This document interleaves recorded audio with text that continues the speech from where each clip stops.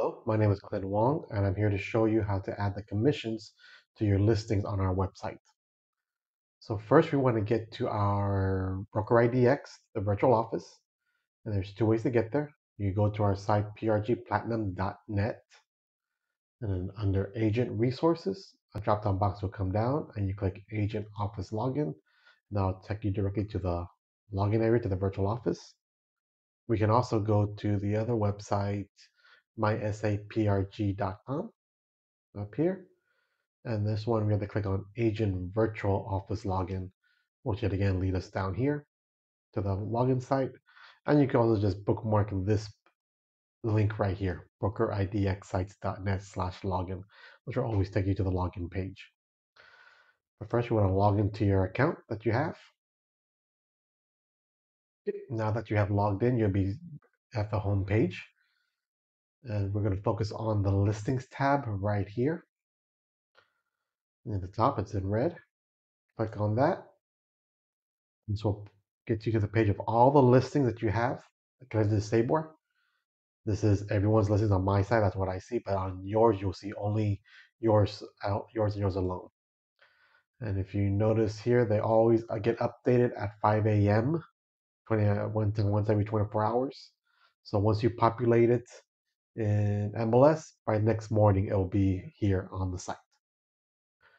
So once you find your listing on this site, you probably have the MLS ID number, the address, and then here buyer's agent commission. This will usually be in red. And we're going to click add in order to add the commission. I'm going to focus on one specific one for a specific scenario. I'm going to use Mrs. Lundquist as an example on 3110 Arafura Way as an as a example because she has an interesting situation on hers. Imagine if this was red and we would click this button and that'll lead her to the commission section. And here we were in her listings right here, and then we'll be focusing on the buyer's agent commission. We want to make sure listing broker is selected because as always, you'll be probably negotiating for the full 6% being paid to us. Thus, we're going to be paying out to the other agent as the listing broker. Select that one. Commission type, default is in the percentage amount. But if by chance you have a fixed dollar amount, like if it was a rental, you select this one. It'll just change to a flat fee. But for this purpose, it's a commission. And hers is just a flat of 3%. I'm just going to write a number three in there.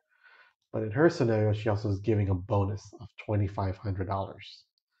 I can just put that in here. Otherwise than that, if it's just a, a commission, you can just put the, just the flat fee commission fee right here. Once that's done, you just click save, and that is it. It is completely done and updated on the site. It will take a little while for it to update, but it will be on there shortly after you click the save button.